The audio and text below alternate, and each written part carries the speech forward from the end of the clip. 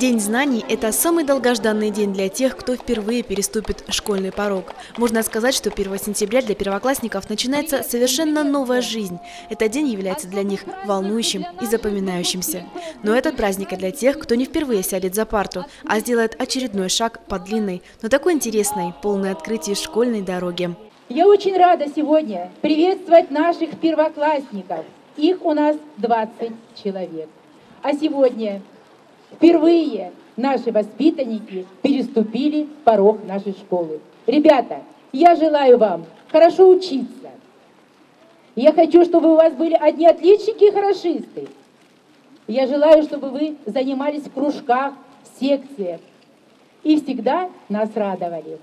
Замечательный педколлектив образовательного учреждения, возглавляемый Ниной Федоровной Шевченко, показал уже неоднократно, какие хорошие, замечательные выпускники выходят из стен этой школы. Еще раз вас всех с праздником, с началом нового учебного года. Праздник в школе-интернате номер 33 начинается с торжественной линейки школьных песен и стихов про школу. Нам родная школа двери открывает, И промчалось лето словно пять минут.